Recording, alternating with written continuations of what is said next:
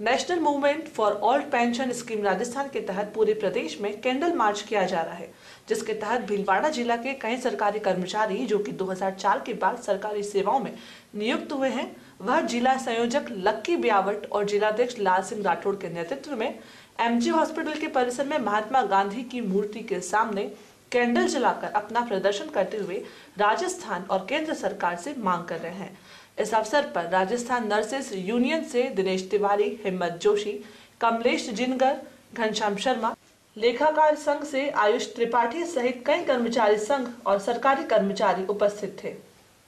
प्रदेश भर राजस्थान में आज national movement for old pension scheme के लिए 2004 के बाद जितने कर्मचारी